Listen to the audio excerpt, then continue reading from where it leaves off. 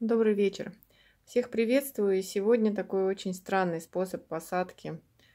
А, ну, в данном случае мы будем садить лук, сеять.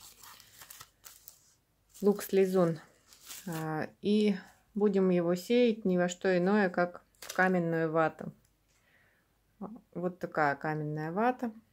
У кого-то может быть.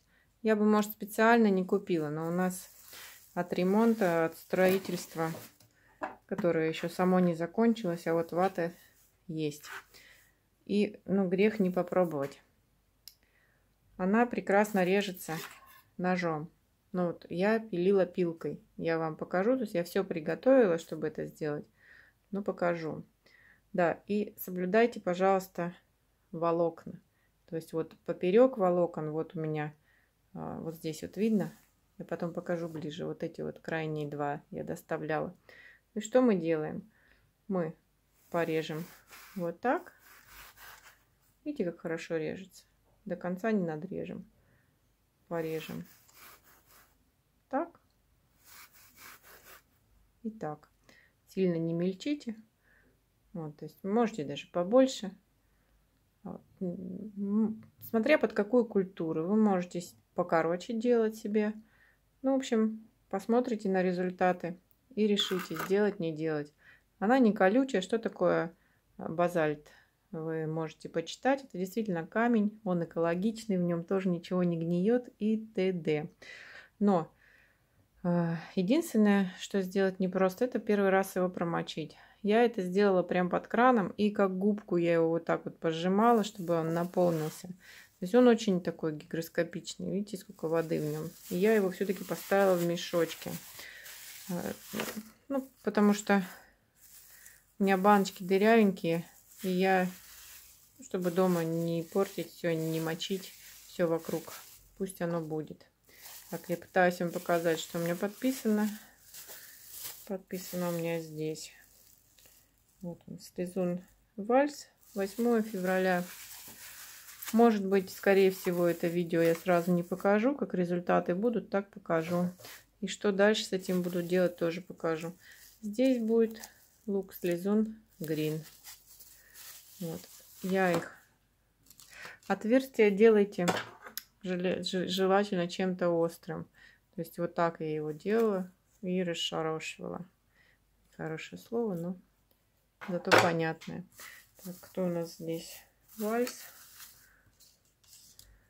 Вальс. Вот о нем написано. Такой сорт хороший. Может быть, мы его и даже в этом году срежем.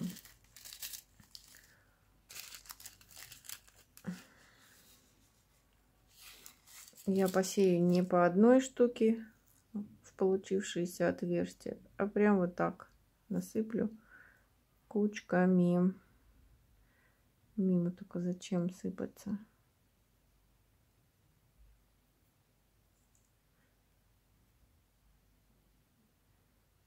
Может, это, конечно, лишнее. Попробуем разные варианты. Насыпем и поменьше, и побольше.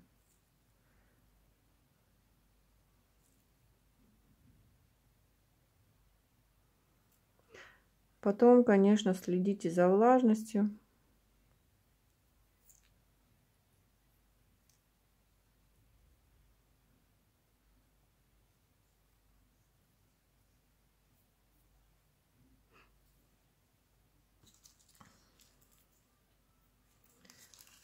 Я, наверное, до всходов все равно это накрою. Куда-то в бездонную бочку они у меня провалились все. Ну, обещала и поменьше, и побольше. Ну, в общем, такая вот такая а-ля гидропоника домашнего производства. Что самое интересное мы сделаем, если у нас с вами, конечно, ну, при условии, что все получится – не люблю складывать обратно семена, поэтому вот сейчас натолкаю по многу. Ну, вот такие луки, они, а, собственно, их беречь, вот смысла нету, потому что все равно они потом очень плохо всхожи на следующие года. Ну, либо не схожи вообще, поэтому все равноценно, что их выкинуть, что вот так посадить. Поэтому пусть лучше будут посажены.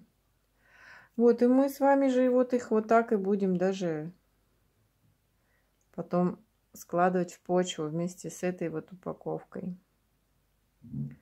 Ну, так далеко забегать не будем. В общем, таким же способом посажу и вторые. Сейчас поаккуратнее это все сложу в отверстие. А, ну вот, тапками не закидывайте. Пробуйте. Я думаю, что это интересно. Всем спасибо, до свидания.